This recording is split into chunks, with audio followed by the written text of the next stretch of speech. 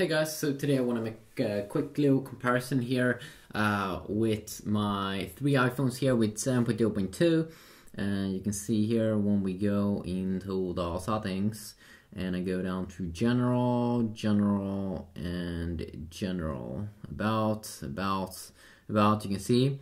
All of my separate reviews with 7.0.2 here. Uh, I just want to see the speed here if there is any change uh, when we are booting these suckers down and up we probably shouldn't see any difference because hey it's our phones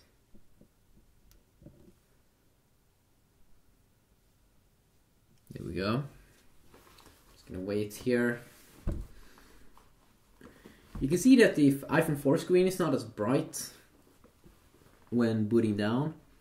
At that little thing that's spinning around. A little bit random I don't think it should be something with the display. There we go. They were almost about the same, all of them there. Let's see here.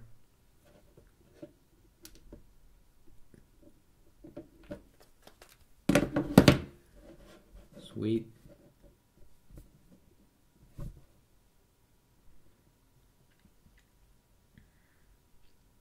Can see the white background there that you get on the white iPhone.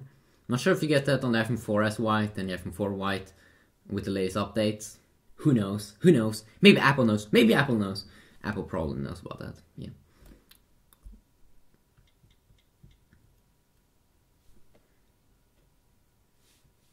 Do we have time to unlock this device before?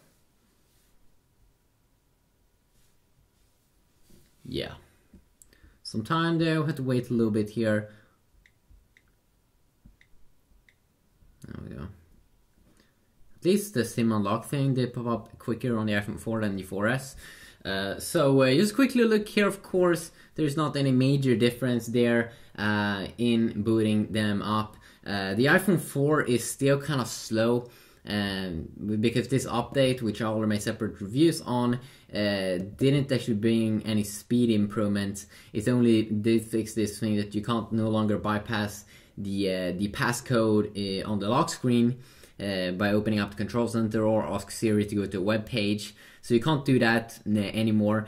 Uh, but it's still kind of like sluggish, uh, and and that's the thing that they did fix on all these devices, Uh, and that as well that you can now, if you have a normal passcode with the letters and stuff, you can use the Greek keyboard. I've also showed that off in, in video reviews. So thanks for watching my video, and hopefully I'll see you all in the next one. Yeah, peace out.